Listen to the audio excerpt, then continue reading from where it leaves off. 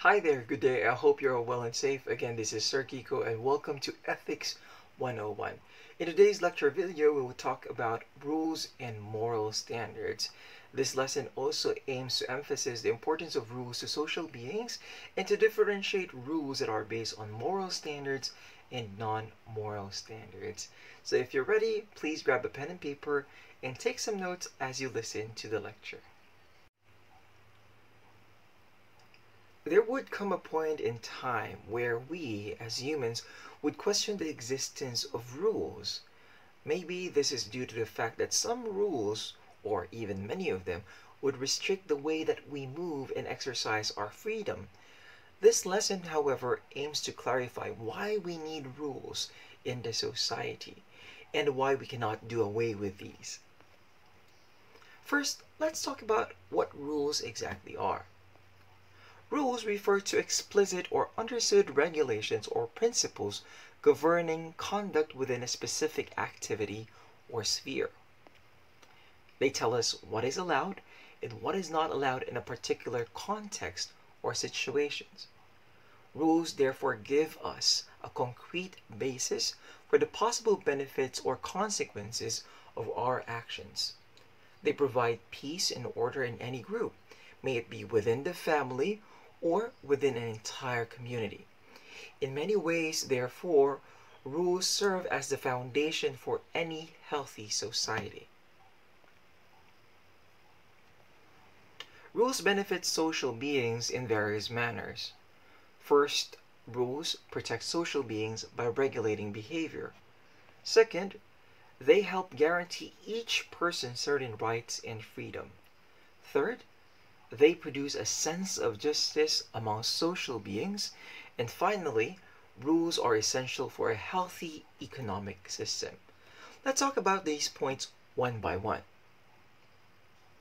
Rules protect social beings by regulating behavior. It builds boundaries that place limits on behavior. Take, for instance, this photo. Imagine roads without traffic lights and signs that would guide how we should behave. It would be very chaotic. Rules are coupled with means to impose consequences on those who violate them and to give benefits on those who adhere to them. People follow these established rules to avoid negative consequences and to reap the positive outcomes. Going back to our previous example, because of the rules of traffic, it is easier for us to travel from one place to another. Second, rules help guarantee each person certain rights and freedom. Rules form the framework for societies. Nations are generally nations of laws and governing principles are outlined in what is called the Constitution. This Constitution guarantees the rights and upholds the liberty of its citizens. Rules on divisions of power, as well as checks and balances, for instance, aim to protect individual liberty. Third, rules produce a sense of justice among social beings. It prevents exploitation and domination. Rules are necessary to prevent the strong from dominating the weak. They facilitate a system that provides justice in a society wherein even the richest and most powerful have limitations on what they can do. And fourth, rules are essential for a healthy economic system.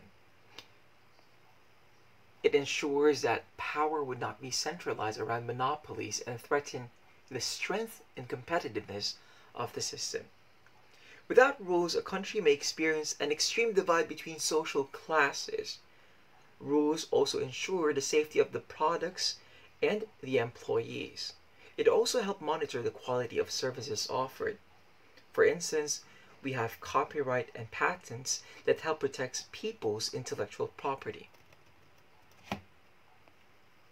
We can therefore say that the society indeed needs rules to protect the greater good and to uphold the common welfare. Even the freest forms of human communities necessitate rules and regulations to function soundly and to prevent the exploitation and tyranny. While rules are often based on concepts of morality, one would realize that not all rules are moral rules. This also means that not all standards are moral standards. In the next section, we would quickly review what morality is and then discuss about the difference of moral and non-moral standards. Morality may refer to the standards that a person or a group has about what is right and wrong. Moral standards, on the other hand, are those which are concerned with or relating to human behavior, especially the distinction between good and bad, or what we consider to be right and wrong behavior. While rules give the society a general guide to what its citizens can and cannot do, moral standards provide individuals a compass which helps them discern the rightness or wrongness of their actions. One may be surprised to find that many of what we consider as normal, if not necessary, standards are in fact non-moral standards and hence lack ethical sense. These non-moral standards include various rules within our homes, in games, in fashion, in etiquette, and even in religions, traditions, and constitutions.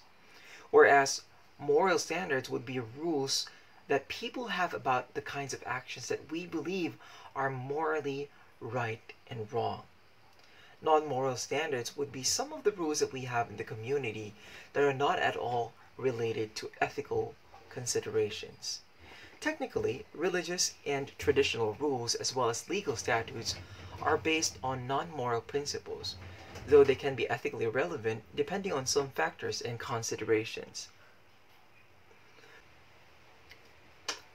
To help you further differentiate between moral standards and non-moral standards, consider the following characteristics.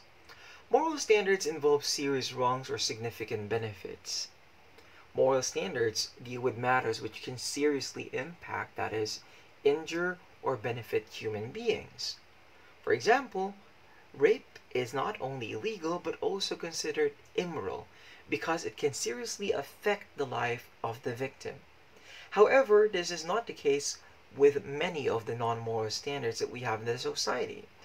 For example, a person who chooses to wear what others may consider as revealing or weird cannot be judged as immoral because his or her actions do not necessarily affect his or her well-being.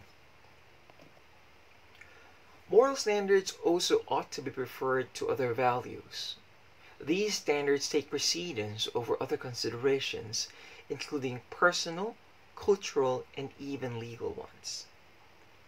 Consider the given examples of Professor de Guzman.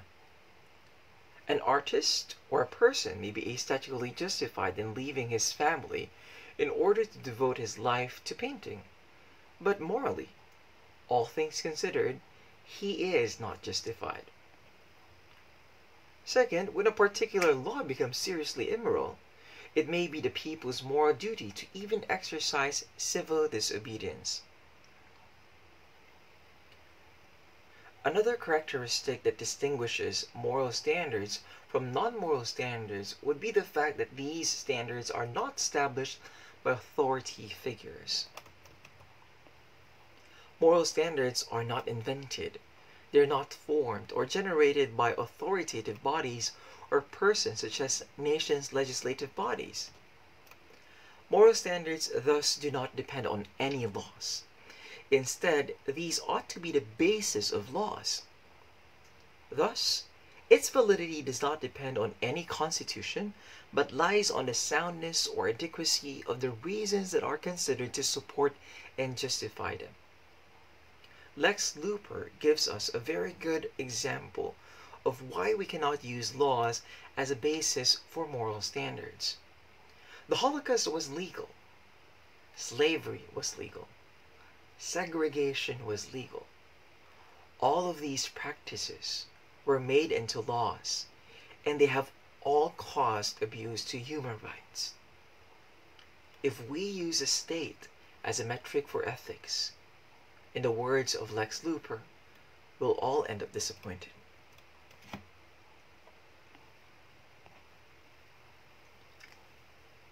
Moral standards also have the trait of universalizability.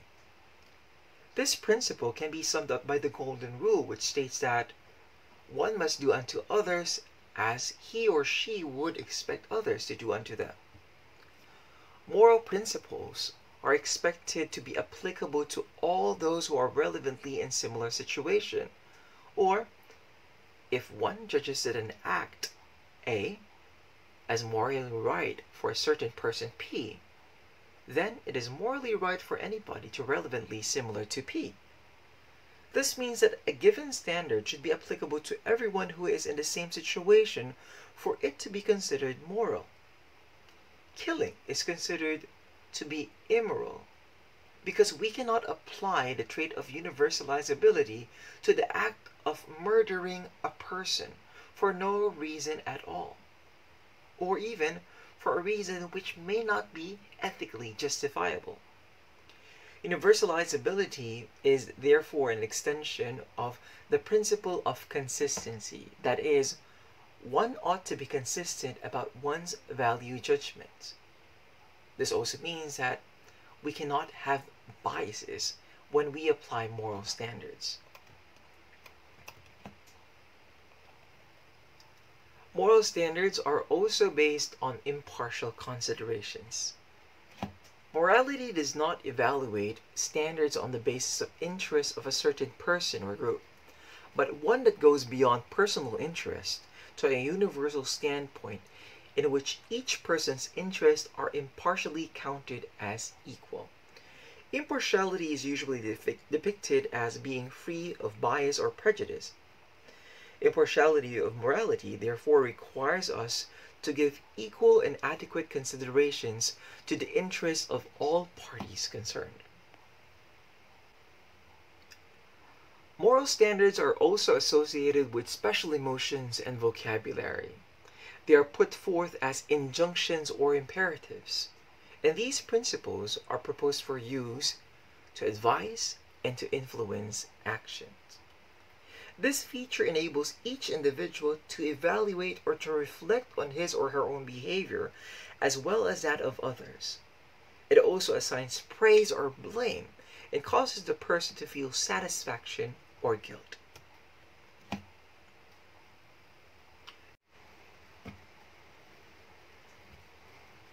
Given these characteristics, we would realize that many of the laws or rules that we follow in the society may not be even based on ethical grounds.